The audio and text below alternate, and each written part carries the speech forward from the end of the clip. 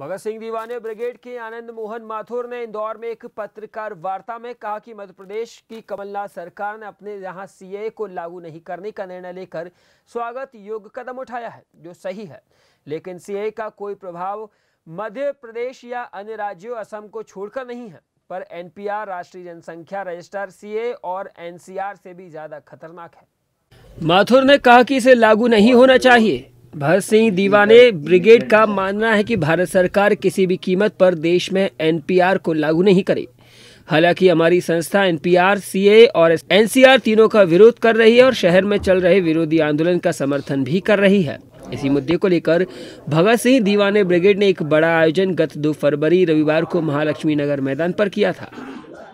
का नाम ये माँ का नाम ये आपकी place of birth date of birth वो जितने भी हो गए सब पूछ लेगा। लेकिन सेंसस वाला आपसे ये नहीं पूछेगा कि इसके प्रमाण लाओ और दूसरा जो है, ये कहीं बोर्ड पर ये नहीं लगेगा कि आपत्ति किसी को है क्या सेंसस में। लेकिन एनपीआर में जो सबसे खराब बात ये हो रही है जो जो कि बहुत डेंजरस बात है, खतरनाक बात है। एक बात तो ये है कि जिस ले, जो लेवल ऑफ़ अधिकारी हैं जो निम्न स्तर के लोग हैं वो आपके यहाँ आएँगे आपसे पूछेंगे कि आपका ये मकान नया है पुराना है कितने साल पहले बना है इसमें कौन रहता था पहले इसमें कौन कौन मर गया कौन इसमें ज़िंदा है ये सारी जानकारी जो है आप जरा देखिए किस तरह से पहले तो मकान की जानकारी आपकी होगी, उसके बाद में आपकी दूसरी जानकारी होगी।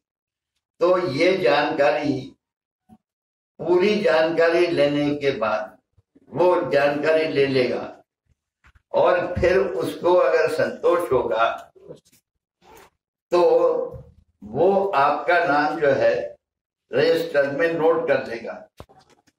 सरकार ने जनसंख्या सेंसस कानून 1948 की कार्यवाही शुरू कर दी, जो हर 10 वर्ष में होती है। इसी कार्यवाही से बड़ा भ्रम फैल रहा है। जानकारी जनसंख्या एक्ट 1948 में 2021 के लिए ली जा रही है, या राष्ट्रीय जनसंख्या नियम 2003 में यह भेद समझ में आना मुश्किल है।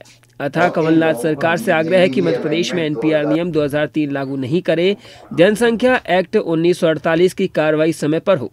जनगणना 2021 में की जाएगी, न कि 2020 में। एक तो शरणार्थी की कैटेगरी हो गई और एक घुसपैठी कैटेगरी हो गई। शरणार्थी वो, जो अदर देन मुस्लिम्स आएँगे, वो शरणार्थी हो गए और ये लोग सब घुसपैठी हो गए। तो उसका प्रभाव तो मध्य प्रदेश में और अन्य राज्यों में नहीं पड़ रहा है। लीगल इमिग्रेंट्स ट्रीट करके उनको सिटीजन देंगे। और इन लोगों को हम नहीं देंगे, ये अमेंडमेंट 2019 में इन्होंने किया तो ये आपका जो हो गया सिटीजनशिप अमेंडमेंट एक्ट तो उसका प्रभाव तो पड़ेगा